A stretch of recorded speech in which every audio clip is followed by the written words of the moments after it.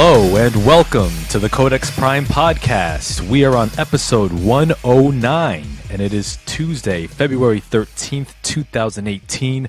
I am your host, Victor Omoayo, and with me, as always, is my co host and social media chair, Carl Byrd. What up, y'all? Yes, indeed. Uh, it's another week. You know, we are just one day before Valentine's Day, the 14th. What up, Kyle? Yeah, yeah. What's up, Kyle? Thanks for joining us on the show. You know, you know, I, I will say about Valentine's Day. You know, every every year, I always used to say Valentine's Day is here. Bah, humbug. Yeah, Yeah, you would. but now I don't have to say that anymore. So that's awesome. Shout outs, shout outs to Monet. Yeah, you completely turned him around. You sure did, Monet. Uh, and John Haponic, the supervillain, has joined us. Oh shit. Yes. And that reminds me, three days, three days from Black Panther this Friday, man. How amped are you, man? Dude, like um, I'm like woke all week. I, I'm telling you, I'm gonna go from like listening to NWA to I'm black, y'all, and I'm bliggity bliggity. black. Oh, man. CB4, damn, that's a good movie. Yeah. Was that Allen Payne that did that? Yeah, it was him. Blickety black, blackety black, the black, black. Yeah. DC forever. Okay, John. Yeah, you know, I mean, I will, I will, I will say this that though, you know, I can't wait to hear John's contrarian review as to why Black Panther wasn't all that. Oh, he's gonna he's gonna hate out of spite. Oh, At yeah. this point, it's like he's the supervillain. He just has to now. It's like it's his job. Yeah, it, it it it is. You know, I mean, even I mean, he's st- he's still carrying the flag for DC and for the DCEU, and you know, he, he's he's like the Cowboys fan Don't of, you of even comic. go? No, no, He is. no, no. He no. is. John No. Haponic is the Cowboys fans of comic book fa- No. fandom because much like the Cowboys, the DCEU just don't they they just don't know how to pull a win except for Wonder Woman. But you know, he's still carrying the tor- torch. He's still loyal. So, you know, even though on the one hand it's a little sad, you also got to respect his his uh his his dedication. You're a dick. I, there's no, it, there's no way to sugar, to sugar. You shut your mouth. You shut your face, Kyle. Thank you, Kyle. You see, you He's know. a Panther fan. Oh, okay. Yeah. So when you went, when you went on your troll session, he was right along. He was right along with you. Oh, nice. Yes, last week's uh, troll session. Ah, felt so good. Yeah. Um, but yeah, we got we got some we got plenty of uh some news and stuff to get into. It's a jam packed docket uh this week.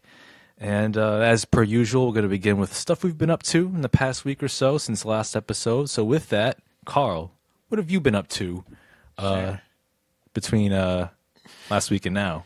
Sharing this damn podcast. yep, he's sharing like a madman to various uh, pages and groups and feeds. Alright, Um, for one, I do want to say big shout outs to friend of the show, former and multiple time guest Afton. Mm-hmm. She just got married this past Friday. We went to that wedding, Yep, yes, we so you know, big shout, you know, big shout outs to her and Curtis. Mm-hmm. Um, still playing games on Easy Call. No, when did I ever play a game on Easy? oh, you're trying to cheat your way through four for February? Yeah, by playing short games that I can beat. Okay. So speaking of which, I bet I have been working on that. I'm actually ahead of ske- ahead of schedule where I'm at right now. Um, I'm two for two. I beat the Guardians of the Galaxy Telltale, Oh, okay. and then I revisited Uncharted: The Lost Legacy Okay. and beat that again. Right on. So right now, um, still working on Dragon Ball, and then I still got to do uh, Marvel vs. Capcom. And I still got two more story. I beat one of the story arcs in Dragon Ball, Nice. and I got two more to start whenever I get a chance. Cool, man. So yeah, I've been working on that. Um, I'll start off with oh yeah, and um, quick album review. The Just, Justin Timberlake's latest album, Man on Man of the Woods, is actually pretty good. I mean, I would say like maybe I have to give it a few more listens, but it's it didn't catch my eye as to um the tw- his last album, the 2020 Vision um experience did for me. Yeah. Like I just don't see this this one album being like timeless. Okay. I mean, who knows? Maybe like there'll be that one single to prove me wrong. I mean, there was "Filthy," "Midnight Summer Jam," and one of my favorites, "Higher Higher" on the album. Mm. But he said "Dumpster Juice." Wow. wow. I guess he's not a Timberlake fan. I don't think he is, but Hmm. I just think. I mean, I, it's not bad. I would have to give it a few more listens. Okay. So it's one of those albums that has to grow on you a little bit. Yes. I got you. Um, and then we'll probably review this one together. The Black Panther soundtrack. Yes. Yo. Yo, the Black Panther soundtrack, which is uh, produced, curated by Kendrick Lamar. It's hot fire, man. Indeed. Hot. Yeah, man. Yo, this this whole track, I, I've, I've listened to it like five times now, just forward from the first track to the last one on Spotify. You know, whatever, when, whenever I'm driving or just chilling at home, yo, that album is. Yo, if, if this, if hopefully, hopefully the the musical, the film score will be just as memorable as the soundtrack, because you know Marvel has a real problem with that. You know, Because you're the only one- you're the only one who actually pays attention to that shit. but that's the problem, though. I mean, it's like It- it's, no, like the it's film. Not a problem. It's just it's like like, a- if people a- just don't. They They like yeah, it's cool to like. It's cool to have a score. Yes, the score makes the movie, but it's like but for Marvel, is as people pay more attention to the story. No, but the, a score adds tremendously to the emotional impact. No, it does, film. but it does. But it's not the main. You make it seem like it has to have the score. The score has to be memorable. Yeah, it does. has to. It not necessarily does. Because guess what? Everybody's still watching them. Everybody's still enjoying them. They're still good stories. Shot. Sorry, John. But Mm. yeah, so I'm like, okay. you know, for Nobody so, really gives a shit about the score. They don't really give a shit about the score. you know, for so, for somebody who's musically inclined, man, this this is just this is just rank, just just rank ignorance. I'm hearing right now. It's not necessarily. It's not ignorance. It's just what it is. Like No. don't. I mean, I mean, would Star Wars be just as good without that memorable score by John Williams? Not really. I, Jurassic, no, I think it would. I think it would because there's still no matter what, there's still good stories. like Jurassic Park, Indiana Jones, Mad Everybody Max, pretty Fury much Road. remembers only one song from each of those movies, except with the exception of Star Wars. Star Wars has about like three, a whole bunch, a whole bunch. three Um, maybe four. nah, you're The min- canteen. Okay, there's the canteen. There's, a cantina. There's the Imperial, the Imperial March, March. the opening crawl, the end credits, Jabba's palace. Nobody gives a damn about Jabba's palace. Oh yeah, they do. The march on Endor. Oh, there's so there's just so many pieces, man.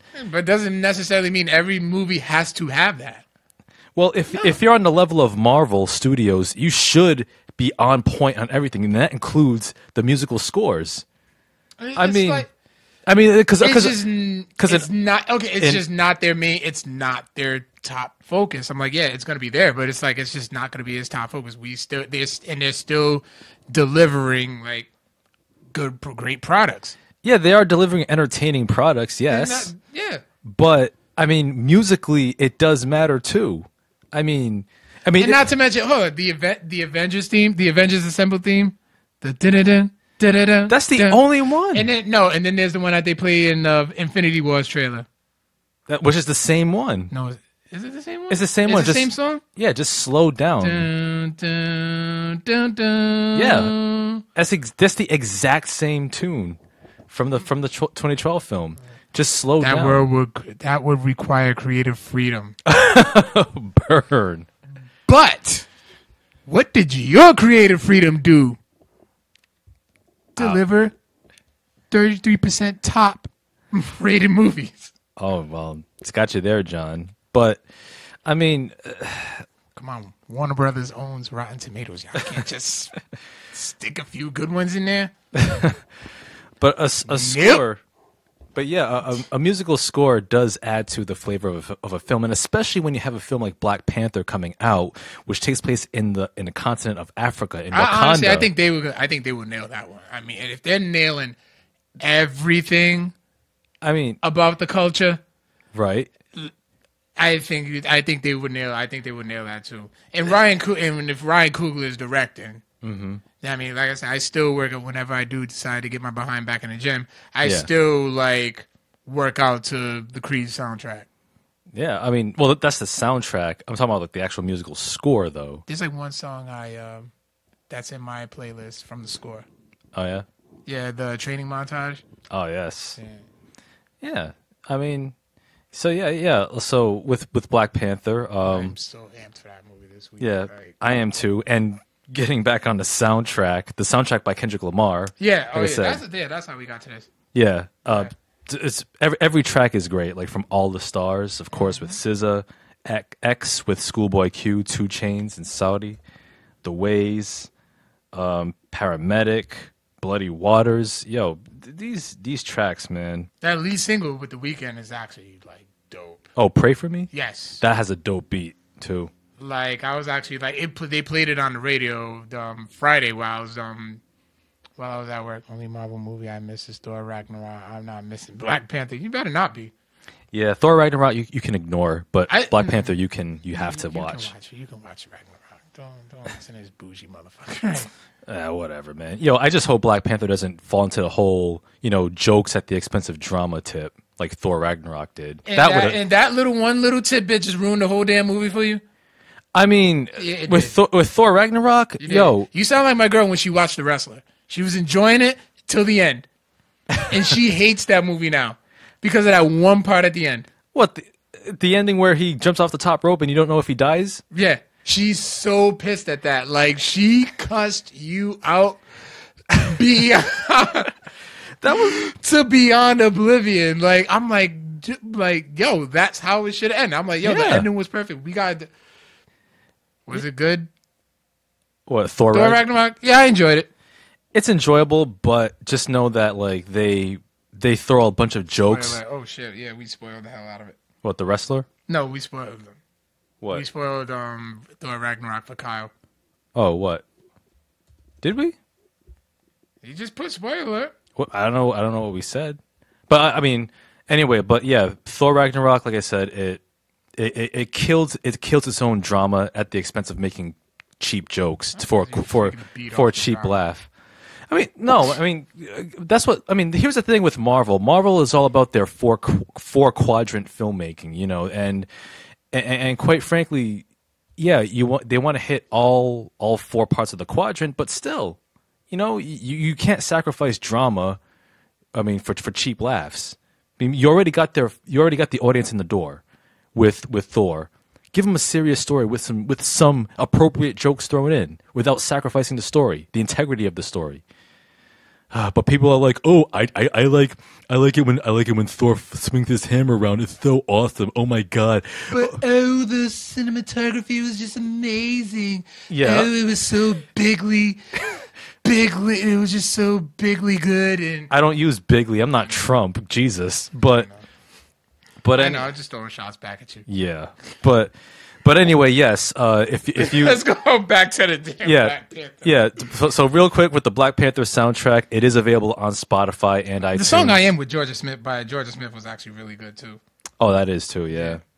Um, I highly recommend it if you're a fan of Kendrick Lamar, if you're a fan of just just dope hip hop, dope music. Um, you can also get the CD, of course. I like. I really, I really love this the minimalist CD cover of his collar. Oh, yeah. With the all black uh, background. That's That's all you need. that's badass. Sometimes less is more. Absolutely. And sometimes Marvel could learn that Uh-huh. with Thor Ragnarok. But but yeah, get the soundtrack, listen to it. Dude, let's move on. Yeah, it's That's pretty much dope. all I got. So It's dope. go ahead, move on. Yeah, what else you got on your on your I'm end? good. Yeah, I'm good. Oh, that's it. Okay. Yeah, the hell you been up to?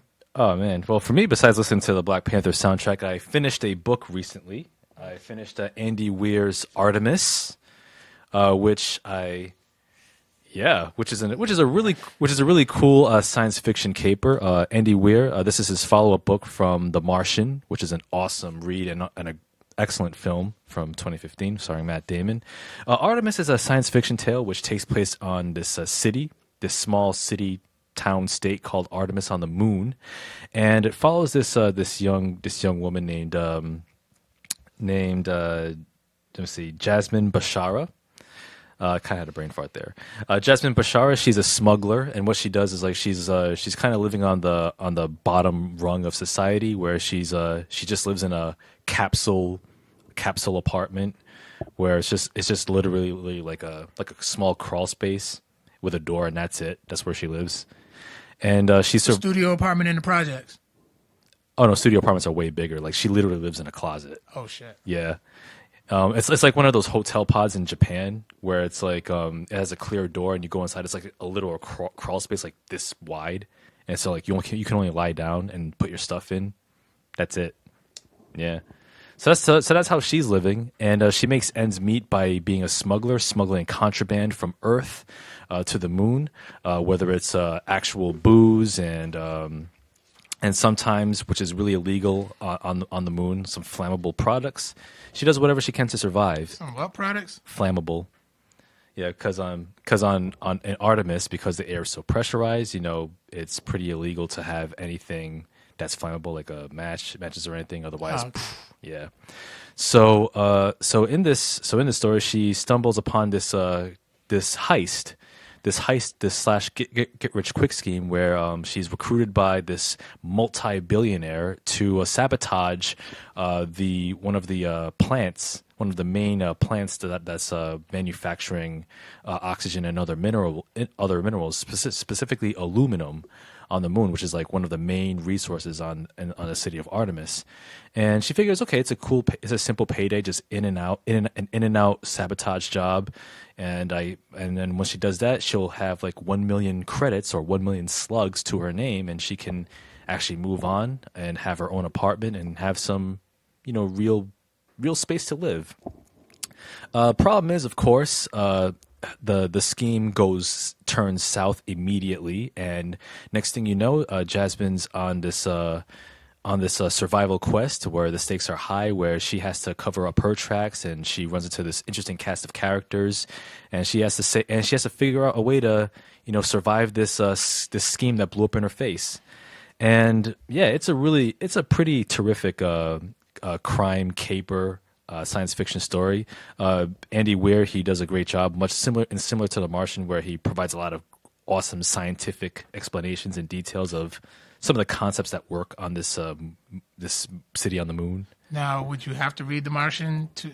Oh no, not at all. No, no, this is totally separate. Oh, okay. Yeah. Um, it's it's it's a it's pre, he does a pretty good job of like uh, world building, describing how this how this uh, city on the moon works. Oh, so it's basically like. I mean, it's not a sequel to The Martian, but it's in Oh. the same universe. Oh no, not in, not even in the same universe. It's a Oh, so totally it's stand, oh, it's yeah. standalone. Yep, it's totally okay. original. It's a completely original story, and uh, and uh, what, what's cool about it is like um, he the science that that he describes in build, in building that world and describing some of the concepts that work, like how their their life support system works, and like even the tiniest thing that can that would go wrong can jeopardize the whole the whole operation. Ki- It kind of adds to the stakes of it. Um, deal, dealing with like the physics of like being on dealing with like low gravity, living on the lunar surface. Um, also, like the main character Jasmine, like she's just uh, she's kind of a fuck up in that like she's she's like she's she's a, she's a woman that has enormous potential, but she gets in her own way. She's brash, she's outspoken, she's foul mouthed. Um, she's uh she's kind of ratchet uh you know and you know she could do so much more and she's she's very intelligent especially in, in, in technologically speaking but she gets in her own way and even her father looks at her as a as a complete disappointment and eh, but but but you kind of see her growth throughout the throughout the throughout the story and and it's it's just a it's just a fantastic science fiction read. So if you're a fan of of, of crime capers, science fiction stories with colorful characters, and Andy Weir's uh, terrific writing and world building descriptions, Artemis is one that I highly recommend checking out on store shelves now. It came out last November. Oh, okay. Yeah. So yeah, definitely a definitely a hot read, and I can definitely see this uh, being adapted into a film. Who do you see playing Jasmine? Hmm, well, Jasmine's uh, definitely a Middle Eastern actress, someone Saudi Arabian, um, per- perhaps uh, an unknown, at least in the states, Oh, okay. could play her. And um, I also like the fact that uh, Kenya, the country of Kenya, is like became like the main, the world's main source of space exploration. Nice. Yeah, so you get, you get to see some characters of color at work in this, doing their thing. So it's awesome. We coming up. Yeah, man. So yes, Artemis, check it out in bookstores now. All right. Yeah, so News and items and interests. All right. So we got some uh, some news and items coming your way. Uh, like I said, it's a jam packed docket. This docket's looking real jacked. Uh, we- we- we'll begin with a couple of trailers here. Uh, first, we got a new trailer for Deadpool 2, this time starring Cable. It's Josh Brolin's character. What you think? I thought it was hilarious.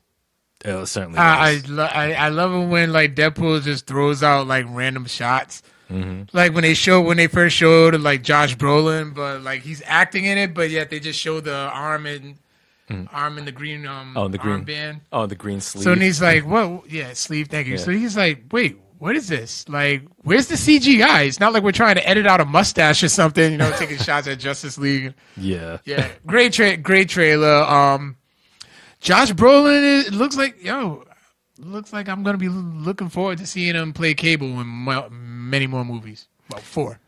Yeah. Yeah. I Yeah, he mean, signed a four four movie deal, right? uh, for for Deadpool alone, No, for Cable. or for Cable. Yeah, for the character Cable. He sound like he signed like a four four movie deal. Oh, right on. Hey. So we may be getting like an X Force movie. Yeah. Oh, yeah. That's right. I want to start a petition to like to get Terry Crews to play Bishop. I'm down for that. Hey, Terry Crews is a good actor. Man needs work. He can he can get work. Yeah, he can. But I mean, like more substantial, popular work is what I'm saying. You know. But Everybody hates Chris. yeah, well, but that was years ago, though. I'm talking about something new. Okay. Yeah. But uh, but yeah, the Deadpool Deadpool uh, two trailer was fantastic. Especially like the little subtle Disney uh uh Disney uh references with Oh yeah, we reach for the sky. yeah with Disney buying Fox and then um with uh Deadpool playing with the Deadpool and uh, uh cable Act- action act figures. figures, yeah. And it's like I got the stones for you, and then he, which is a reference to Th- Thanos. Um, what's what's interesting is that like the the marketing for Deadpool two, much like the first film, is just so on point, and you still don't know. We still don't know what the I don't know what the movie's about. Yeah, like I don't know. Yeah, I don't know. About, I'm sure. Yes, there's time travel involved. Mm-hmm. Domino is gonna be. All I just know is like who's gonna be in it. yeah. Like I still don't know what what what Domino's role is. Um, I do I do see um Dopinder the character. Yeah. Oh, they back. knew they. Would, oh yeah, they announced that they were bringing him back, Yep. and I was happy about that. Yeah, Blind Al. Hopefully, we'll get more of her because you know Le- Leslie Uggams, man. Yo, I'm I'm glad she's she's getting. I'm glad she's. I'm glad she's having fun. Yeah, Like she's doing something that's fun. Like it was Mm-hmm. hilarious. absolutely. And um, John asks um, the odds of a Thanos joke in Deadpool 2. Watch the trailer, DC boy. Yeah, well, hmm, in the film itself, probably. You know, it's a good chance. Well, I don't know because you think wasn't they like pretty much done with it by the time the Disney acquired 21st? Um, Disney bought Fox. Yeah, but um, but it was widely known that uh, uh, Josh Brolin was cast as Cable during filming, so they could they probably could sneak something in there. X Force preview. That's could that could be what Deadpool two is. Yeah, especially um, especially if uh, if Domino turns out to be a badass character. Yeah, from what I heard, um, Rob Liefeld's really happy with it. Nice. It's not like the she's not like the original drawn character, but she's like he's like really happy with it. oh, that's what's And I think he has a cameo in there too. oh, yeah. Okay. Did he have a cameo in the first one? No. Oh, okay. Yeah. So yeah, Deadpool 2 comes out May 18th. They actually Fox actually moved up the release date. So it's going to be right between Dude, we're gonna be like in the movie. we're gonna be in the theaters a lot in May. Yo, my movie pass is going to get a workout in May because we got what, we got Infinity War. what, Infinity Wars. Infinity War, Deadpool 2 and then Solo. Solo. Yeah. Yeah. Okay, three weeks. Yep. Three weeks of movie ain't bad. Yeah. So yeah, looking forward to that. This 3 months away and we also had another trailer, Marvel trailer for Venom starring Tom Hardy as Eddie Brock. I didn't really get much. Yeah, I saw the sound. I saw the the symbiote. Well, more so the picture of Venom's face at the end. Yeah, but you still see it. So I'm like, I still want. I wanted to see more of Venom, but I'm like, it's a teaser. Yeah. It's a teaser, so I'm not gonna get the full for it. The you know full fledged like Venom. So I'm I can wait. Yeah, and you know, I mean, I mean, uh, with with the Venom character, you know, people have always, especially fan fans and or fanboys, if you will, they've always been clamoring for like a a, a, good representation of Venom for years think- because Topher Grace wasn't doing it. Oh, it was awful. Yeah, Eric, For- he is Eric Forman.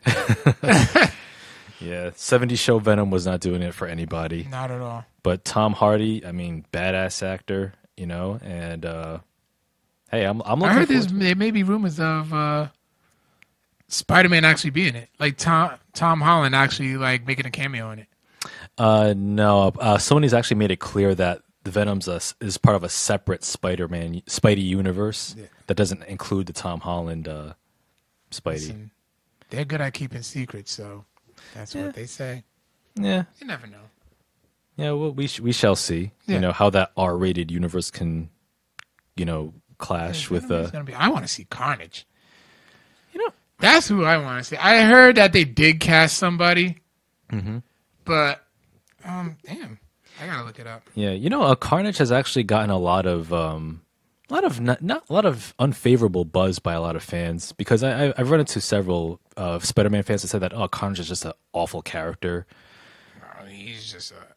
Like he's just a psychotic, just one dimensional, and that's it. But you know, like much like how Marvel has done a good job of taking like like C list and D list characters yeah. and making them memorable, they can do the same. Sony can do the same with Carnage and make them actually a three dimensional character. It's like, oh wow, way better than anything that you've seen in the comics. So I don't want to mind if they take Carnage and you know make the most of them. He say he's gonna appear. Carnage is gonna appear in Venom.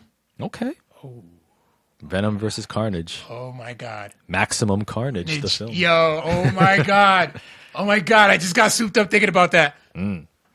Yeah, man. Spider Man Venom. Oh my god, I need, to go, I need to go to the toy vault and get that Sega game. Yo, man, I used to play Maximum Carnage quite often. No, uh, Maximum Carnage was the shit. That and uh, Separation Anxiety. That was good too. Yeah, I, you know, it got me to like the simple fact that Maximum Carnage had a red had a red cartridge. yeah, yeah. It did yeah, it did. Man, that was a fun game. Yeah, man. Yeah, just for Super Nintendo, right? Yeah, I do. That's right. You didn't have a Sega. Nah, nah. Super Nintendo was the better console, as we all know. Sega was perfectly fine. Yeah, sure, sure. Was cool. Maybe because I, I I had Sega. I liked Super Nintendo. I had no beef with it. Yeah, yeah. Same, same deal with me. I used to freaking play. I used to like. I had a subscription in Nintendo Power magazine, but yeah, I had a Sega. I had a Sega Genesis. Oh, you had to keep up with, keep with it. No, it was just like I was. Um, a lot of times, like Nintendo Power used to have the maps. Mm-hmm. So in some of the games, they were completely the same. Oh, that's right. So, yeah. yeah, like Lion King. That's how I was able to beat Lion King because they had everything mapped out. Mm-hmm. So, and another thing too, I wanted to bring up. Um, I was at I was at work, Yeah. and one of the one of the clients I was working with Mm-hmm. was on a computer playing Clay Fighters. Really. Yes. Clay Fighter, man, that game was was not very good. No. It was not. I mean, I like the concept, but yeah, execution. No. Great concept, poor execution. Yeah. Like the Rock's Rampage movie. I mean, you know, you don't know. I mean, That shit looks fucking awful. it might break the video game movie No, curse. it's not even about, bruh. It already like failed. Uh, It's not even about the mo- It's not even about the animals. It's about the Rock. well, of course. I mean, I mean, he's uh, he's he's busy cranking out them box office hits, man. Well, yeah, but I don't know. It's gonna be. It's gonna be the curse. Come on, man. He he didn't learn from Doom. Nah. Oh, Doom was awful. Uh, Do- Doom was. Oh, he, listen, The Rock knows it. oh, he The Rock knows it when he mentioned it in um his Hall of Fame sp- in the Hall of Fame speech. Mm-hmm. He's like they showed he's like as ways of torturing the terrorists. Mm-hmm. They would show copies of they would show the terrorists copies of the Marine. Mm-hmm. So everybody's like, oh, he's like, oh no no no no, it's okay. I made Doom. Yeah, he did. Man, that was one of the. What, that was an awful video game based movie. And plus, like, fact, you've seen it too, right? No, Like, like there there are several scenes in the film where they have like the first person perspective. yeah, I remember them like when they was talk, you know, talking about it. They were Mm-hmm. saying like they wanted to keep the essence of like of the game, Mhm. But it's just it was just bad. It absolutely was. But yeah, I mean, I'll I'll probably watch Rampage anyway, for, just for the hell of it. Dude, you got the movie pass. Yeah. Speaking of movie pass, Yes. Speaking of Movie Pass, uh, for all you, if you haven't gotten the Movie Pass train yet, you should because for a limited time, Movie Pass is not will is now seven dollars and ninety five cents a month. Uh, for a limited time, MoviePass is lowering its $9.95 a month price for new subscribers to $7.95, and this deal includes access to the Fandor streaming service. Uh, new subscribers just have to pay a one-time processing fee of $19.95 for the Fandor subscription, which expires after one year. And also, Movie MoviePass recently surpassed two million subscribers. So yeah, there is no better time than now to get on the MoviePass train, especially with Black Panther coming out this Friday. The thing is, is like I don't go to the movies that often. Like I go, I go more, mm-hmm. but it's like, do I? Am I really gonna like use it like that? I'm not. Well, I mean, yeah, it's. I mean, it, it, it, you definitely get the most of it if you go to the movies as often as I do. You go too much. I don't go too much. You go once a week Some at best. at best when there's something interesting in, but I haven't been to the movies since Hostiles a couple weeks ago. A couple of weeks ago, do, do you know how last time I went to the movies was freaking Last Jedi? Last Jedi was your last movie. Yeah. Dang, yo, there's so many good. Fil- See, look, here's the thing. Even if you, e- I was, I, And I would just recommend. don't go to the movies that often. Well, but here's the thing though. Even if you get Movie Pass now and just pay seven ninety five a month, like you can use that Movie Pass to to avoid paying the evening ticket prices, which are like what twelve bucks, twelve fifty, I think. About that, yeah. Yeah, all you gotta do is like go to the theater, punch it in your use a Movie Pass app, go there, and boom, there No, it is. yeah, definitely. Is, I mean, Save money. definitely, yeah. And no, John, I do no, John, I do not own stock in Movie Pass. I'm just an I'm just an enthusiastic fan. Why don't you just, why don't you buy stock and Shit, if my ass could afford it, man, I'm, I'm kind of. I'm kind of broke right now. But you know that's something to think about. go on them damn movies all the damn time? Well, here's a like so, yeah, it works like what once a day. Like you can use it like once a day. yeah, once a day, and then it resets at, at twelve midnight. Oh, okay. So it's like if you What went if to you watch a movie at one uh, eleven fifty? Oh no. like if you watch a movie like say like No, like if you watch like a midnight showing or something. a midnight showing, yeah, then it'll only work for to telling us the next day, so Oh, that won't okay. work until mid- midnight the next day. So. Yeah, so yeah, Movie Pass seven ninety five a month. Get on it. Yes, that was free advertising because, like I said, I'm just an enthusiastic fan. Okay. Um, also, uh, speaking of um, streaming services and Netflix, uh, Chris Rock has a brand new stand up special coming out tomorrow. Watching it. Yep, I will watch it too. Review it next week. It's called Tambourine. Listen, bigger and blacker was like my high, like my ninth grade. Yeah, ninth grade going into tenth grade. That summer when it came out, like I watched, I taped it, Mm-hmm. watched it so many times, bought the soundtrack, Yeah, put my boys onto it. That was like our Bible. That's like, yo, yo, B- bigger and blacker and bring the pain. Those are Yeah. those are banging. I need. I would love to. I need to go back and watch those again because like Mm-hmm. I actually wa older. Yeah. Yeah, like I actually watched a couple of clips just like uh, uh, last week, and it still holds up. It's just, just as funny as it was 20 years ago. Oh damn! That was twenty years ago. Yeah, yeah. The the the skit about um the platonic friend. Yeah. Oh, shit. Oh, that that that had me dying. oh man. That's it. Yeah, that was a good one. Oh god, I need to watch that again. Yeah. Speaking of speaking of Chris Rock, uh, you remember the Chris Rock show on HBO? I caught it here and there. I didn't have HBO as a kid. Yeah, I, I, I caught it here and there as well. Like you can find like clips on YouTube. Isn't it on um, HBO now? I actually, you know, surprisingly, no. You can actually check if you. Uh, actually, yeah, because I know I, I got the app. Because I had, I didn't see it on there. Son of a bitch. which is surprising. But I remember the Chris Rock show, and um, it has some funny ass sketches on there. Like, for example, the Daddy still has a flat, top. I was just thinking that one. Oh my gosh. Um, the the cereal nigga, please. That sketch, man. Yo, th- th- that that whole show was off the wall, man. But yes, I, I'm I'm really looking forward to Tambourine because I think uh, Chris Rock's uh, last stand up special was on HBO. It was called um, Kill the messenger. yeah, it was Kill the Messenger. That was like 2010, I think. No, it- I want to say, and I'm always doing saying that because I just scrolled past it. But it's No, it was. I think it was 2009 because that's because he did reference uh, Barack Obama getting elected. So that was his Yeah, last. Yeah. his last stand-up special. And before that, it was Never Scared. In the Scared was so good. yeah, that really was. Yeah, so yeah, Tambourine. Can't wait for that. You know, Netflix. They're they're doing it big with the stand-up specials and the comedians, man. Uh, you know, Sorry, Mo'Nique. yeah. Sorry, Mo'Nique. I mean, Mo'Nique trying to, you know, trying to hit people up for for money because five hundred thousand ain't enough. For what she for what she hasn't done lately. Yeah, I mean the last the last big thing Mo'Nique done was Precious, which she won an Oscar for. Yeah. Yeah. Um, I was gonna say, uh, you know, oh, you know who I really want to ha- see have a stand up special on Netflix? Who? Eddie Murphy. I think he has. Hey, he he's he's teasing us way too much. He says Yeah. he's coming back, and then he's not, and then he's just. In which, in a way, I understand because Delirious and Raw were just classics. Yeah, but Like, man, and they still hold up to this day, like thirty years later. They they hold up, but man, you cannot do any of that shit today. It's No, no, so un, un PC. Like Oh my god, no! like like for those for those watching or listening to the chat for for those younger viewers if you will like if you watch delirious and raw today it's it's for straight up it's not pc it's homophobic because it was in the 80s uh yeah you can't get away with any of those any of those jokes today Yeah, but you know what? When he acts like his father, when he talks about his father, those are like th- that's like the most memorable. Those are the most memorable parts for me. oh The yeah whole Lillian. oh man, I need oh yeah, I oh, need yeah. to watch that again too. Uh, especially in uh raw where he makes fun of uh, uh, uh fans who watch rocky yeah, that was good. Oh my god, all right rocco up.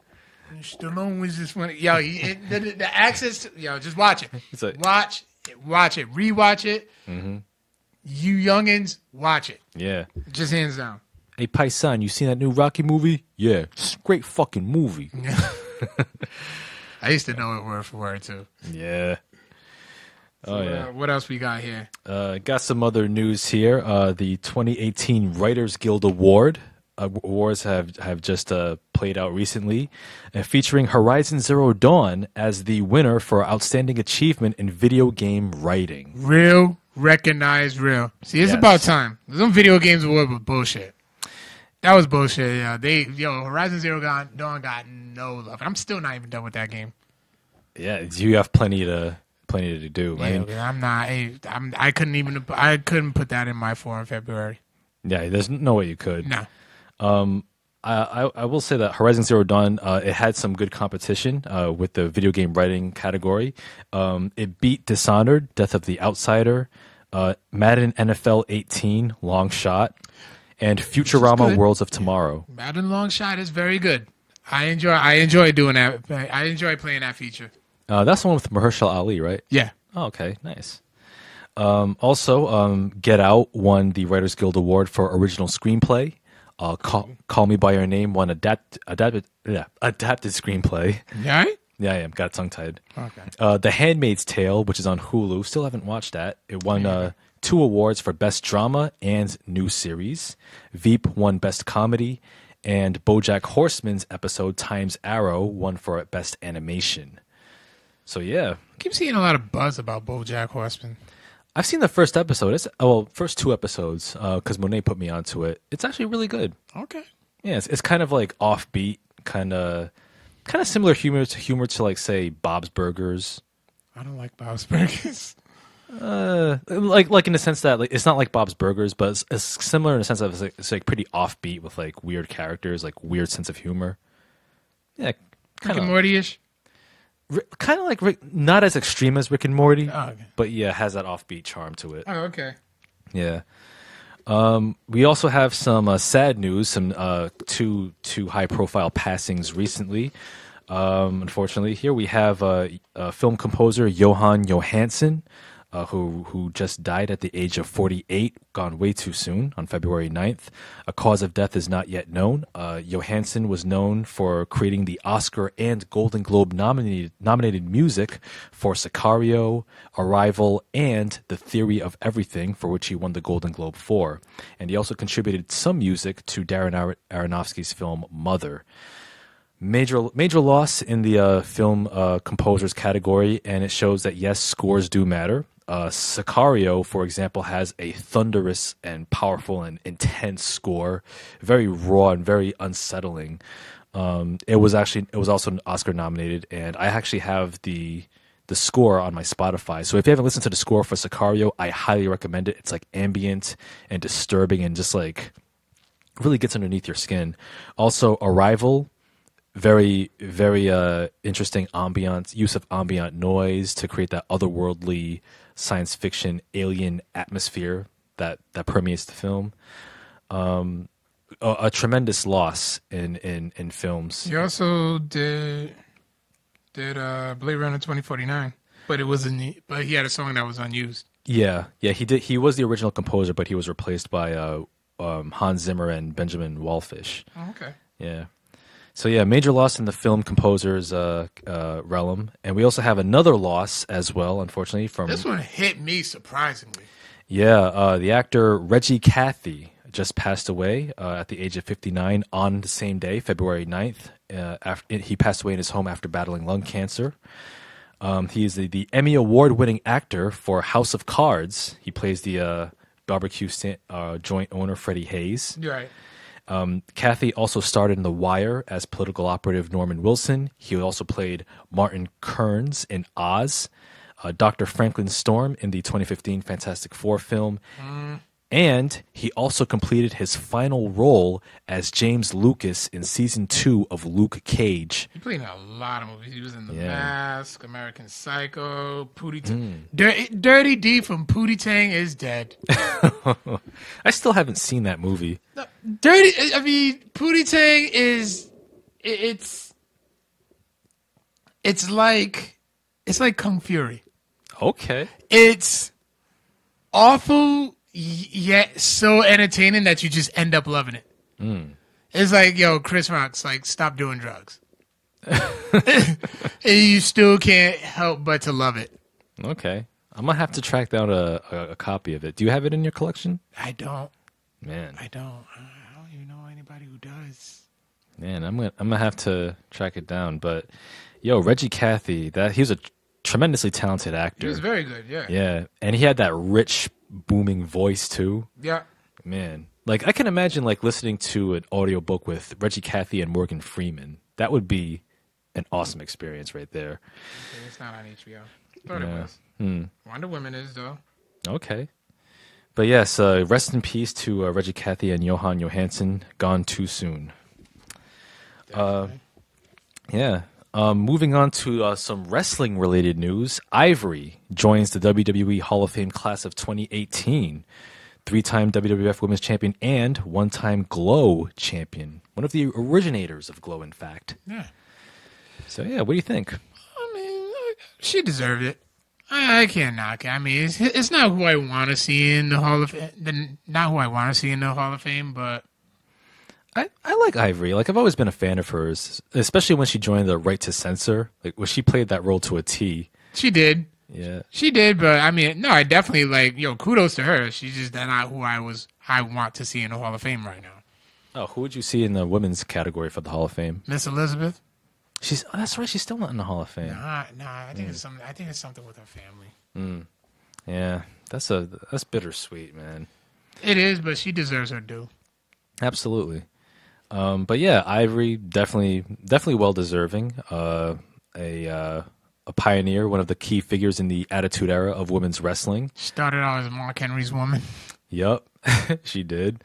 Then she came into her own, and then became a member of the Right to Censor. Like I, rem- I remember, like when she, I remember that whole that that segment on Raw, where uh, it was Lita, Lita and Trish Stratus when they had bra and panties matches back then. Yeah. they had their bra and panties match, and the crowd was wild back when, as the Attitude crowds were back then. Mm-hmm. And then um, when they got down to their bra and panties, all of a sudden you heard that annoying ass music from the It wasn't Censor. even music. It was just a siren. Like Yeah. And then you had Steven Richards come out with Yeah. his with the crew. they converted Godfather and Val Venis stuff. Yep. that As- was all. I, that broke my heart. Oh, the Good Father. Yeah, the good. And Did then, they change Val Venis? No, they kept Val Venis's name. yeah, they kept his name, but he's just dressed in all white. Yeah. And then um, I remember when when Ivory cut that promo when she came out as the newest member of Right to Censor, and she's like, you know, um, you know, these women, Trish and Lita, they don't belong in the World Wrestling Federation. And some and some fan was like, take your shirt off. And then another fan went, you're a pervert. I don't remember that. You have to like go on the network and send me that. Yeah, yeah, yeah. I, I don't know the exact episode because it, it was on the, that clip was on YouTube for a long time. Was it? Yeah, but uh, you'd have to track down the uh, episode on the network. But yeah, big ups to Ivory. Uh, I would like to see Victoria be in the Hall of Fame eventually. She'll get in. Yeah, I think she'll get in there eventually. But my my heart right now is with Miss- Elizabeth. Yeah, and too bad. Indeed. There's a lot of people I want to see in the Hall of Fame. yeah, but you know, with the with the like I said, with the WWE Hall of Fame, like until they, There's a lot. Yeah, there's just a lot of things that you know come into play when it comes to getting in because you're Yeah. pretty much promoting them, and then you got to use their um their likenesses and stuff, and especially Mm-hmm. if somebody's dead, you got to get permission from the families or the estate or whatever. It's just Yeah, and uh, and especially like with the Hall of Fame too. And I mentioned this before. Like we need to see an actual Hall of Fame museum. like like last I checked, they were doing like they have all the stuff in the warehouse. Pretty much the WWE Hall of Fame is the damn warehouse. Yeah. because like they keep all that stuff. Mm-hmm. Like the Hell in a Cell that Undertaker and Mankind broke, Oh, nice. it's in that it's in the warehouse. Yeah. The- Like I remember like when I was checking out um Mick Foley and his daughter's um reality show, like he went there and like he touched it. Mick Foley like touched it and just started tearing up because like that's what led him into retirement now. yeah, absolutely. What's up, Yami? Hey, Yemi, thanks for joining us on the show. Um, and uh, also too, like I mentioned before, the the Hall of Fame for the WWE needs an actual voting body. You know, they can't, it can't just be like who Vince is cool with. You know, Seems like yeah, it's kind of like that. Yeah, needs a little more credit. I do like how Jake the Snake got in though. If you watch it, did you seen the resurrection of Jake the Snake? yes, How he just wanted to be in the Rumble. He's like, yeah, we don't have anything for you, but we'll see you in March. You're going. We'll see you in March in April for the Hall of Fame. You're going in. yeah, that was that was a great moment. That was. Yeah. So yeah, uh, moving moving along, you did mention Kung Fury earlier in reference to Pootie Tang. My So- goodness. Uh, Go ahead. No, go ahead. Read it. yes. So um, good news for Kung Fury fans. Not only are we getting a Kung Fury sequel, but Michael Fassbender will be starring in this Kung Fu- Fury sequel as well. Uh, Michael Fassbender joins director and star David Sandberg, uh, who also wrote, directed, and starred in the 2015 uh, half minute, half an hour short short film. Uh, David Hasselhoff will also return. Uh, filming begins this summer. Now, if you're not familiar with Kung Fury, it's on Netflix and it's also on YouTube. It's 30 minutes of pure batshit crazy insanity, and I love it. I absolutely love it. This movie, Iris, re- Iris reviewed it like in Yeah. the early days of the podcast. yes, he did. This movie, this movie makes no sense, None. but it makes complete sense Yep. at the same time, and that's all I can It's say. so bad that it's actually good. yes, not good, great. Like you, act, like it's it's kind of like why Sharknado is like so successful. yeah, Like they, those movies are meant to be bad, Mm-hmm. and they get like such big. St- I don't understand how Sharknado is something that's so bad, but they get like such a plethora of stars to well, get in. more like D, E, and F and G list stars though. You still get. eh. Yeah, but hey, they're getting work, so not knocking their hustle. But um, let me let me show let me show you the uh, story synopsis, uh, the storyline for Kung Fury, the 2015 film. Uh, if if you're not familiar, uh, so the, the the short centered on Miami's best damn cop ever, Kung Fury, who becomes Kung Fury after getting struck by lightning and bit by a cobra while chasing a kung fu criminal.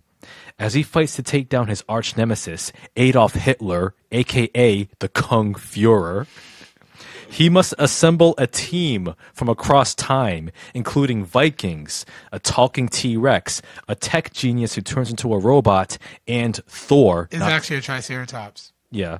Triceratops. Watch Power Rangers. Well, no, there was a there was a talking T Rex and there was a Triceratops, Triceracop. There were two. There were two of them. Remember? and it was a raptor, laser raptor. a laser raptor. Yes. It wasn't a T Rex. It was a raptor. There- Jurassic Park, man. Yeah, and uh, and Thor, not Chris Hemsworth, and they all team together together to stop the Third Reich. I, I don't have to say any, any more, man. You don't. I don't. And Like you just sit there, like, wow. and uh, well, uh, and apparently this is a this is the story for Kung Fury Two, which is coming out. Um, and I'm and this is from the Hollywood Reporter, and here's the synopsis for that film. this time around, You don't got to do all that. Kung Fury and his Thundercops deal with the tragic death of one of their own. When they decide to disband in, in the wake of the loss, a new and mysterious villain joins Fuhrer Hitler to help him attain the ultimate weapon. Now, Kung Fury must travel through space and time itself to save his friends, defend the prestigious Miami Kung Fu Academy, and defeat evil once and for all. A, you're way too damn extra. B, Yeah. you really sound like you have like people locked away in your basement. Shh. I won't tell if you won't. Awkward silence. that awkward silence. Yeah, man, I gotta listen to this shit. I gotta listen to this shit tomorrow. Yeah, I mean, I'll, I'll, I assure you that the uh, the people in my basement are well fed. But yes, Kung Fury two. I can't wait for this. The filming begins this summer. Michael Fassbender. The, the, the movie's gonna be. It's, it's gonna make bank. I give it all my money. You know what? Even though I have, if it comes out in theaters, like I wouldn't even use my movie pa- movie pass for this one. I will pay my straight money, cash, to watch it. That's how much I like Kung Fury. But yes, Did you knock it when Iris was re- was um No, reviewing it? no. I was like, I was agreeing with him because, like, yes, the movie is batshit insanity, and I love it. It's it's it's lovely. It's glorious. It's it's one of the reasons why I love film so much. my ass? I'm not lying. I I loved Kung Fury when it came out in 2015. Man, shit. Oh man. Anyway, um, we got some other we got some other news on the docket here. Some interesting ones, and this one John Haponic might be really pleased with because it's a DC related headline. Uh, Joaquin Phoenix is currently in talks to play the Joker. Now, I'll elaborate. Uh, the plan is for Joaquin Phoenix to play the Clown Prince of Crime in a in a sta- standalone origin film, which will be directed by Todd Phillips, who directed who directed The Hangover. Uh, the film will also be written by Scott Silver, who wrote Eight Mile, and the film will be executive produced by Martin Scorsese. Uh, Phoenix's Joker film will, will be a gritty crime drama, a gritty crime drama set in the 1980s. Um, keep in mind that Phoenix has yet to enter formal negotiations with DC, so he hasn't officially been locked into the role as of yet. Uh, Martin Scorsese Scorsese was was also brought onto this project with the hope that he would convince Leonardo DiCaprio to play the Joker, but DiCaprio decided to go for Quentin Tarantino's Charles Manson film instead. Uh, despite despite this standalone origin j- film, which may star Joaquin Phoenix, DC is still moving for- forward with a Suicide Squad sequel and a Joker Harley, Harley Quinn spin-off feature, both of which will star Jared Leto as the Joker. I don't see it. Joaquin Phoenix, I don't see it. There's only one person I want to play the Joker, and that's Willem Dafoe. I, I totally see, you don't see Joaquin Phoenix. No, try try to imagine Dude, him. I'm looking at a picture of him right now. Well, that's him sunglasses. Like, like, like, see him. Look, look at him. Look at him from like the village or the master or um, or her. Like, just put picture him with like the, the with the white white face paint and the the red scars, the the black the blacked out eyes, the green hair. He could totally pull it off. Joaquin Phoenix is a great actor, and and he would be a, a, an excellent choice to play uh, a new Joker, especially especially in this this standalone, you know, crime '80s set crime drama, which I'm really What's the intrigued other about. one besides her that you mentioned? Uh, besides uh, Joaquin Phoenix Yeah. to play the Joker, um, who I w- wants to play the Joker? No, you said um you said look at him as her. And, Oh, um, him in the movie Her, yeah, and I just looked. I did. And what's the other one? You mentioned another movie too. The Master. Okay. Yeah. Um. Also, uh, oh, Kyle, Kyle just said that Heath Ledger should have been the end of the character for a while. You know, it has been. It has been 10 years. years. Man, R.I.P. Heath Ledger, man, who posthumously won the, the Oscar for Best Supporting Actor. I still want. I, I still want Willem Dafoe. He could, Willem Dafoe, this would be right up his alley if you played like a, Definitely. if you play like an older version of the Joker. And Yeah. and technically DC still could if they wanted to do like a separate standalone film like with an older version of the Joker that's not part of Like, the dude, DCU. look, I'm just look. I could just see that. literally like Google Willem Dafoe the Joker. Google Willem Dafoe the Joker. Just go Google image it. Yeah. Hell, Perfect. the, the best thing about Willem Dafoe as a Joker, though, is that you don't even need to put makeup on him. Well, you kind of do, but it's like it's it's perfect. And Yeah. I'm seeing so many, It's, dude. it's absolute nightmare fuel. yeah, But um, but yeah, Joaquin Phoenix. I mean, if if he if he does end up getting cast as a Joker, like I would definitely watch that, especially with uh, the pedigree behind the scenes. Um, it would definitely be better than Jared Leto. What what, what we've seen so far from him, uh, trap Joker.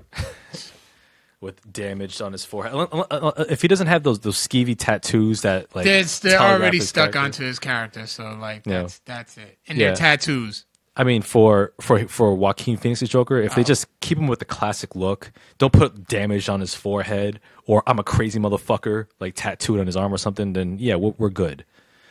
Um, but yeah, I mean, I still think that the definitive Joker will will always be Heath Ledger because like that's what he brought to that table to to the roles like can't be can't be matched. And everybody hated him. He hated at first. Well, I will say like I didn't hate him as a Joker like when I saw the film, but when I first heard No, I'm talking about when they fir- with the first announcement. Like Yeah. a lot of people hated on him. I, I I did too because I was like, really that guy? Yeah. I don't see it. But then when the So trailers came when you out, saw that first trailer. You quoted Leto all the time, Vic. I didn't quote Leto all the time. What are you talking about? Uh, I did- what? You got some explaining to do. That's your buddy from college, so Like- you got some explaining to do. Oh, you talking about Suicide Squad. No, I, I did not quote that film at all. Listen, I only saw you on Tuesdays when we did the podcast, so I mean, Yeah, yeah, but um, but you know, I'm I'm curious though. Which which if we're talking about since we're talking about Suicide Squad uh two, which they're still making a sequel of, I wonder if that's going to be part of the post uh Flashpoint film. Because because Flashpoint's reboot is Well, resetting the DCU. Yeah, and what's well, it possibly is because what's crazy is that there was a picture. I came across an article. I should have sent it to you, but I just wasn't thinking at the time. Mm-hmm. Um, that they so- somebody like leaked a picture on the Insta um, from the Instagram. Mm-hmm. Of you know, like the director saying, "Oh, he's whipping us into shape." So you know, some of the cast members were in the gym, and the guy who played Diablo was in the picture. oh really? Yeah, Hmm. so he may be coming back. Oh okay. I mean, if that if that's the case, then that, that might be a good that might I be a literally sign. thought that he was the best character in that whole movie. yeah. like between him, Harley Quinn, other than Will Smith and Harley Quinn. Yeah, a dead shot. Yeah, Yeah. Well, it's, It was- it's not saying a lot, you know. it's not, but I was like, you know what? I actually like. I was like, okay, he was cool. yeah. Is this shit over yet? I mean, if if it, I mean if if if the, the Diablo character is coming back, then that's def, uh, uh, a, a, that's probably a sign that they are rebooting the the universe for sure. Yeah. You know, and I will and and on top of that, I will say this though: if DC reboots the DCEU with Flashpoint, and the movies are still whack, then John Haponic has no more excuses. No, he doesn't. then he has to. He he'll probably still defend. yeah, much like a cowboy. Shut up. But at at that point, John will just have to join us on the Marvel train. He he just He'll has never to. do it. He will not turn in his "We Are Not." Him and his wife will not turn on. They will not turn in their "We Are Not" group shirts. I mean, uh, there, there's still room on the train, John. You can always come aboard. I mean, you, you don't have to suffer in silence. I mean, we've got the we've got the MCU. We have Logan. You like Logan? Uh, we got Deadpool. You like Deadpool? You know, we still got the first two Spider-Man films with Tobey Maguire. We got you covered, man. You don't have to suffer. You can always come back home Part to the Marvel the train best.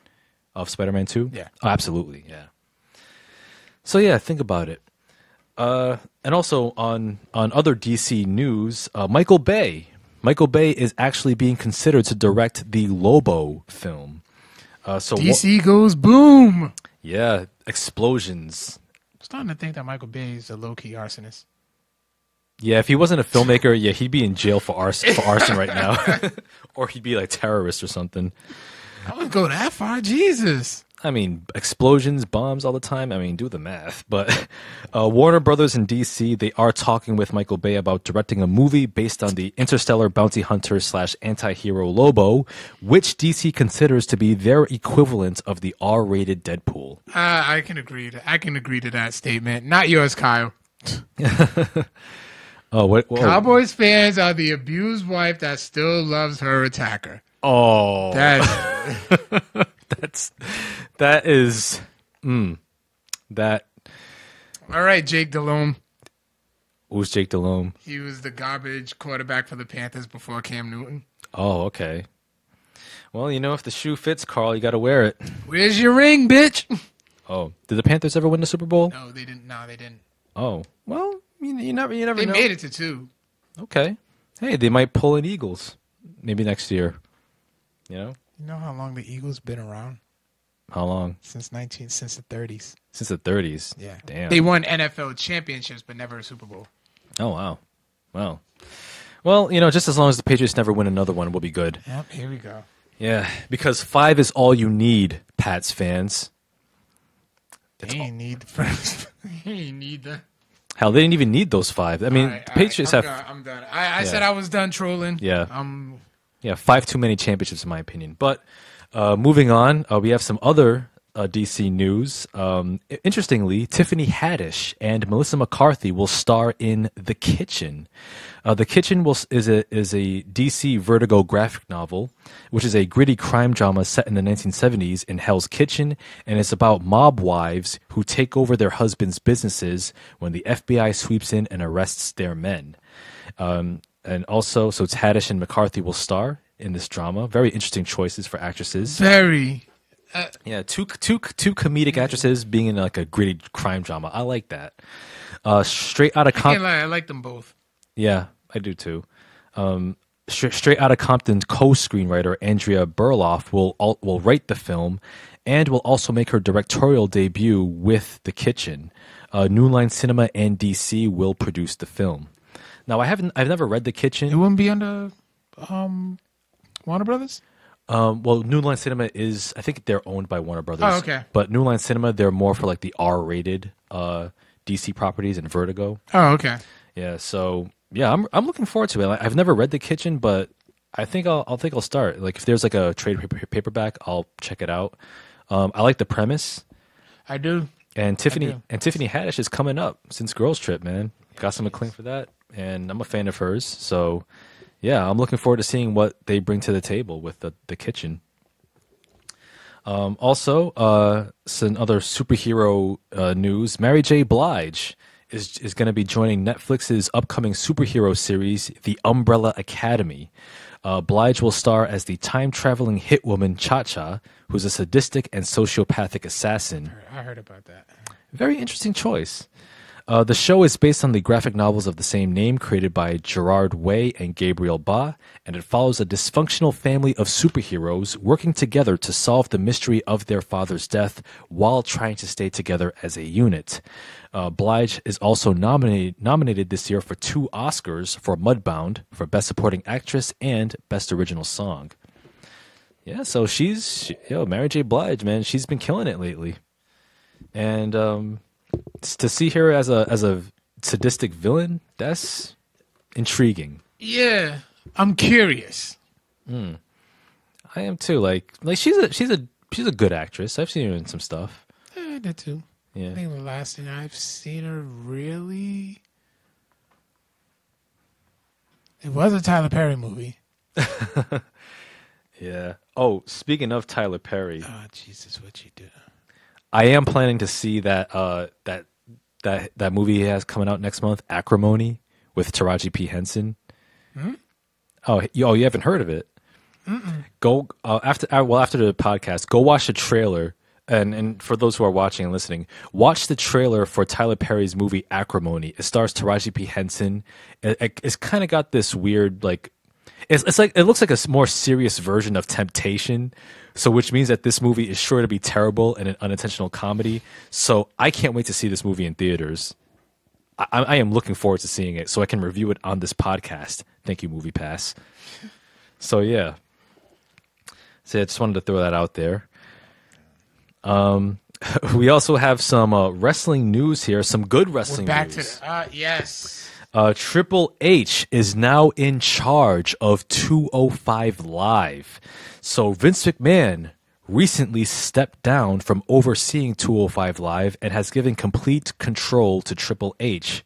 And so for the past two weeks, that explains why the show has actually been good and worth watching, as it now features a new GM in Rockstar Spud, now known as Drake Maverick and a heavier focus on in-ring action with the current Cruiserweight Championship tournament, which will culminate at WrestleMania 34. I- I just as, long as said finally gets it. Yeah, I want I want I want the finals to be set in TJP. that would be a fire match, and that and that's a story right there too. Yeah. Like T- the, the up you know, the one who stole the show mm-hmm.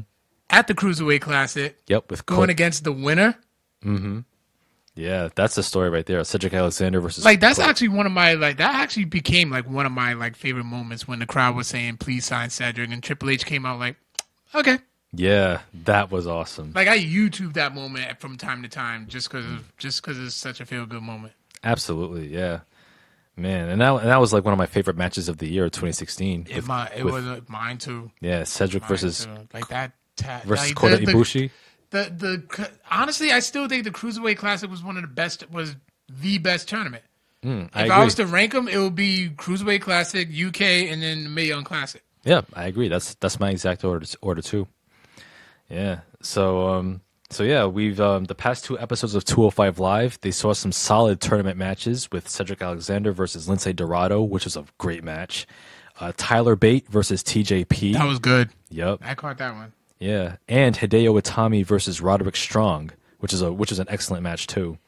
Uh, tonight's episode of 205 Live will also be worth tuning in as it features two more tournament matches with Akira Tozawa versus Mark Andrews. Like Mark Andrews. Yeah, I think I would probably say he's my favorite f- from the UK tournament. yeah, he's, he's one of my he's like my third favorite behind Pete Dunne and Tyler Bate. I like them too, but uh, Mark Andrews is just dope. Like he's a he's really good. Yeah, and also tonight's episode will feature Drew Gulak versus Tony Nese. I'm not a fan of those two. No, They're good. I mean, they're good. I'm just not a fan. Like they just seem too like regular. they too bland. Yeah, they they they're like the to me they're like just unseasoned chicken. Well, you know, I would I would agree with Well. With, Drew Gulak has like he has great mic skill, mic skills. Like his whole PowerPoint presentation thing like gets over. It does. Like I still want to see the rest of that PowerPoint presentation. um, I think like his his character, like his character was is a positive in that like he's showing more personality Yeah, because when he was in the cruiserweight classic, he was just like oh, just a generic good wrestler. That's Yeah. it. Tony Nese, like he has the look, he has the ability, but no personality. But he's starting to show a little bit of it. So I'm hoping he's growing. he's growing. So hoping that he'll he can grow more into that that role as well. So yeah, man. I mean, 205 Live, if, if it can recapture some of that spirit, that essence of the Cruiserweight Classic, where you have solid wrestling matches, no filler, that I will tune in every week. I will say though, um, there's still some tweaking that can be done. Like for example, they can either move 205 Live to before SmackDown. Yeah, like what like what um Brian said a couple weeks ago. Yep. Or or put 205 Live back to Full Sail and make that uh, a network exclusive Yeah, show. like on on Thursdays. Yeah, like on Thursdays. So you know the timing timing is still an issue, but in terms of content, yo, I'm glad Triple H is actually allowed to take the reins, and this will give us a good indication of what Triple H can do on the main roster for main roster booking. Right. So, Well, I mean, NXT still doing a good job. oh, absolutely, So, like by leaps and bounds. Like NXT's takeovers are still better than most mm-hmm. main roster pay per views. Yeah. Yeah, I mean, the five star match between Andrade Cien Almas and Johnny Gargano, man. Yeah, that told the story. That really that, that did tell the story. We'll, Yeah. we'll save that for an, for another wrestling podcast. Yes. So yeah, 205 Live, catch it now because it's worth watching. And your boy, And uh Burr, last bit of news here, Jesus Burr, Jesus Christ, why? Burr. Shut up, Carl. there is a Gucci Mane biopic in the works. So par- Oh my god. for some reason, Paramount Pictures and Imagine Entertainment, they're going to be working on this film, which will be an adaptation of the autobiography of Gucci Mane, which was released, which was released last September. So, as with the book, the film will follow the rags to riches life story of Radric Delantic Davis. Brr. First of all, his name his name sounds like a goddamn wizard from a Harry Potter uh, story. I have a cousin named Roderick. R- Radric, Oh, R R A D R I C. Well, no, it's like Roderick. It's Roderick as in Roderick Wrong. It's Roderick Strong. Sorry. Okay. Shout out to Roderick, by the way. Okay. But like, I mean, he does have a. He has a good, you know. He did turn his life around. Like the dude looks healthy compared to how he looked like ten years ago. I mean, he, the man has an ice cream tattoo on his face. I don't know how healthy he could he could possibly Well, be. Well, despite that, like he lost tons of weight. He's like smiling more. You know, he recently, you know, he just got married. I think he got married. I know there was a reality show following it, but mm-hmm. Well, although if the movie can save somebody's life, I would be okay with it. sure. I mean, That's a, that's the only way I can look at it. are you a fan of Gucci Mane's music? Oh no, not at all. I think I like only one song out of his whole entire like catalog, Hmm. and it was mainly because it was when Young Jeezy first came out, Right. and it, was- it was around that, it was that era. Now, I, I see. I- See, I remember this whole Gucci Mane business where um, I remember it was. I think it Go was, ahead, tell the story. All right, it, it was, so great. it was two years ago. I was on Facebook and I was like looking up. I posted on Facebook. Okay, I'm looking for some good hip hop music, some good albums. What can you recommend? And you know, Angela, shout outs to her. She gave some good recommendations. AWOL gave some good recommendations. Then Aris, Aris's dumbass c- climbed onto the thread and said, "Gucci Mane, man, he just got out the feds. Burr, burr, burr, Gucci." And I was like, serious inquiries only, please. And then Wilson, uh, Doc Strange came chimed in. He was like, "That was a serious inquiry, burr, nigga, burr." and then it, then the then the, then the thread d- devolved. Into, I want to see this thread again. Oh, it's still on there. You have to go back to like 2016. Yeah, but I know. but yeah, uh, I, I I was trying to get some good recommendations, and then Aris had to chime in with his dumbass talking about burr, Gucci, burr. Yeah, didn't he like tag me into that thread? He did. And then you photoshopped me with an ice cream cone on my goddamn face. the ice cream emoji. Oh, I definitely still got that picture. You still got that picture, man. I do. Now here's my question: Who, who could possibly play Gucci Mane on film? Who? I don't. Who? Which? Which black actor? Which black thespian will be brave enough to put that ice cream tattoo face on on their person and put their acting credibility on the line to bring this film to life? Who? Who would you cast as Gucci Mane? I can't even think of one right now. But like I said, the the, the turnaround story, the turnaround story could help. So could No, I, I can picture a few actors. Maybe Michael B. Jordan. no, I mean, he could he could do. no, Just imagine him going Burt all day. no, Nah, with with gold fronts. no. No, uh, Chadwick Boseman. Don't do that. I mean, Do not list. Do, do not. Do not list the Black Panther soundtrack. No, no. The Black Panther cast. No, no. Here's the thing though. With, with Chadwick Boseman, he could play Gucci Mane only because he's he's played James Brown. Brown, he's played, Jackie, Robinson. Yeah. No. Uh, no. Thurgood Marshall. I mean, I heard Marshall was good, but I didn't get a chance to watch it. I'll leave that up to you. So three three black legends. He can play one more with Gucci Mane. Yeah, let's put Gucci Mane in the same class as those as those pioneers. Who wants to see me post that that picture of Victor with the ice cream emoji on his face like Gucci Mane? Nobody. Um. Oh, how about Dan- Daniel Kaluuya as Gucci Mane? He, he he could. I mean, Daniel Kaluuya. He's he's he's getting he's putting in that work. I can't think of anybody. I really can't think of anybody. Like when you posted this, I actually laughed. I mean, I. I laughed. I, I got a good laugh out of it too myself, but I mean, Yeah, I mean, you're more in disgust, but I laughed. yeah. But uh, John says honestly, I want to see the picture. Go ahead. Why not? just, just, just post I it. gotta, yeah, I gotta find it. You gonna be okay? Oh yeah, I'll be okay. I'll be fine. Yeah. So yeah, um, a Gucci Mane biopic. So maybe that's that'll be the unofficial question of the week. Who would you? Who can you picture playing Gucci Mane? Let us know at codexprimepodcast at gmail.com or send in your thoughts in the group chat or on social media. Well, how about we actually move on to the real question of the week? Okay, what's that? Um. Okay. So me being busy this week, I didn't even get a chance to post uh, last week's question of the week. So I guess we can scrap that. okay. So this week, since tomorrow's Valentine's Day, mm-hmm. who and who are your favorite couples in nerd culture? Hmm, couples in nerd culture. I'll let you go first.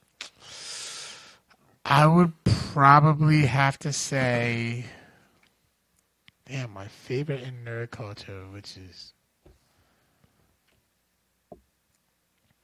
Uh, would you say it's Peter Parker and Mary Jane? yeah, yeah, that's a good one. Or uh, Maybe Storm and Black Panther. Ah, yeah, yeah. Heard that has, they have some good comics. I understand. Yeah. Um. Storm and Black. Oh, there's a, there's a lot. Like I can't even. Mm, I haven't even thought of some. Peter and Lois. Family Guy. Peter, yo, Lois is so ride or die because Peter does so much dumb shit. Oh, yeah, he absolutely does. Um, let me see. For me, I would I, I would go with uh, Han Solo and Princess Leia. Um, for a few reasons, because even even though their story ends rather tragically, especially with Han Solo, um, it kind of makes sense that their relationship didn't work out in the end because they're at the end Han is just a smuggler. It's in his blood. And Princess Leia, she's all about the movement, the resistance. So there's no way they could have lasted, really. Um, that sounded really depressing now that I think about it. Okay, let's think about another couple. Um, I do like Reed Richards and Sue Storm. That's mine. Okay. Um, I also like uh, Black Panther and Storm. That's a good one. I also like uh, Luke Cage and Jessica Jones. They they had a they also have a really good storyline Yeah. in the comics as well. So so yeah, I, I I would like to see that you know on on the Netflix series eventually. Even though Luke Cage and uh, uh, Claire Temple, Rosario Dawson, they've got a sweet Christmas deal going on. Um, Sweet Christmas deal going on. Okay. Yeah, Gambit and Rogue too. yeah, that's that, that's definitely one of the one of the one of my favorite ones, especially in the cartoon. Yeah. Yeah. So yeah, let us know.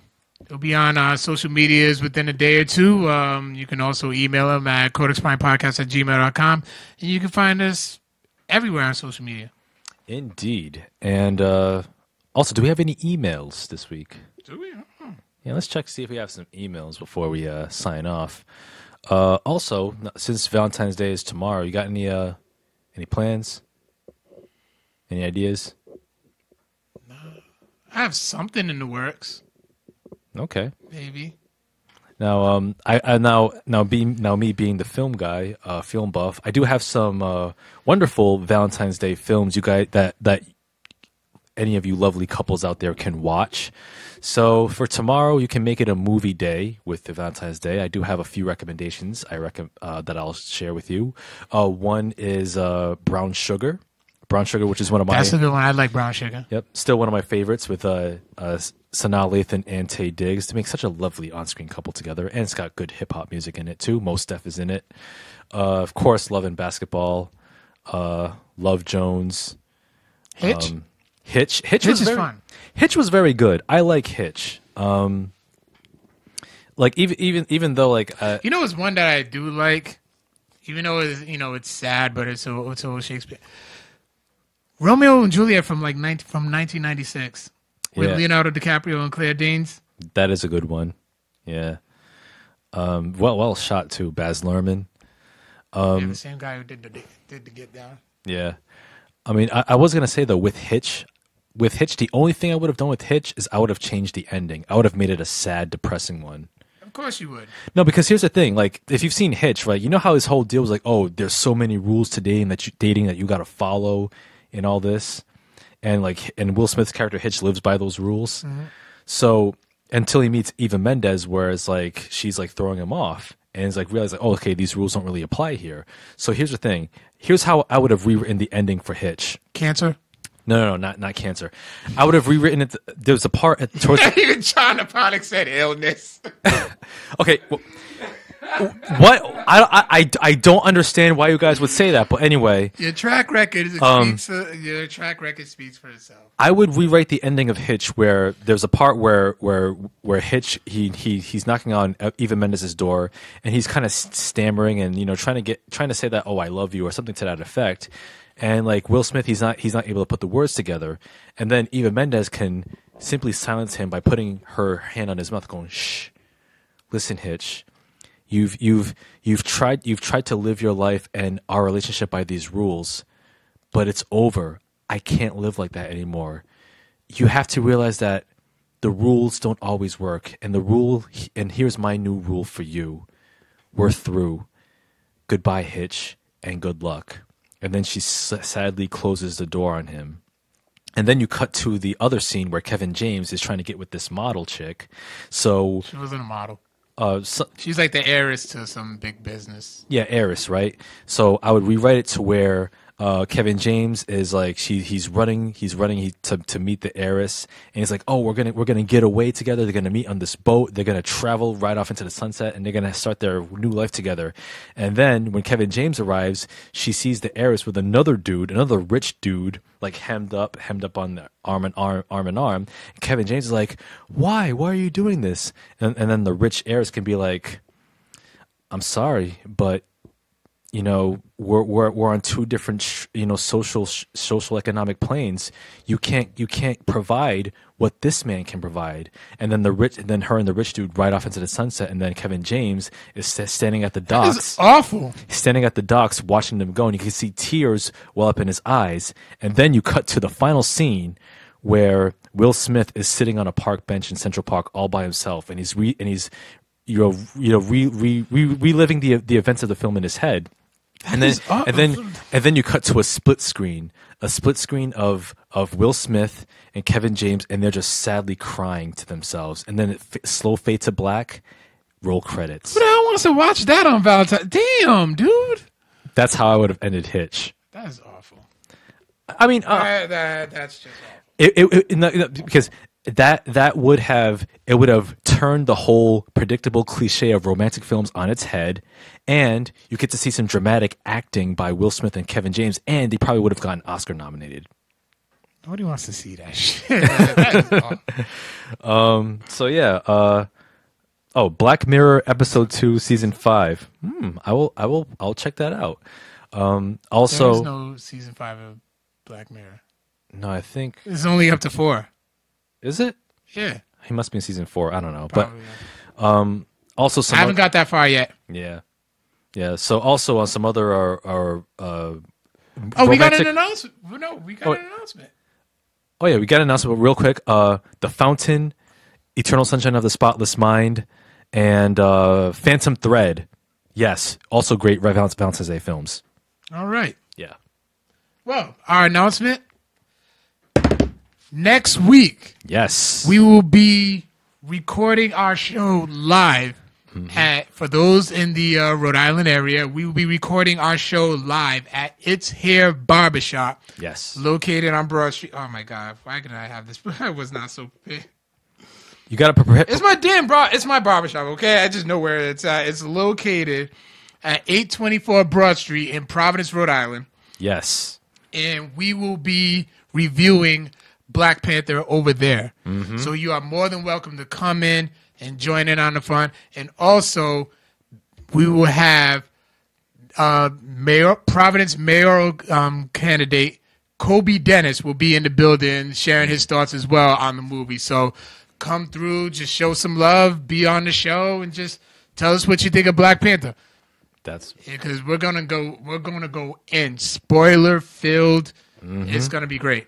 Yes. Come one, come all. I will wear my Nigerian shirt too for the occasion. So, So it'll be Tuesday at six Yeah. o'clock yep. at It's Hair Barbershop in Providence, eight twenty four Broad Street in Providence, Rhode Island.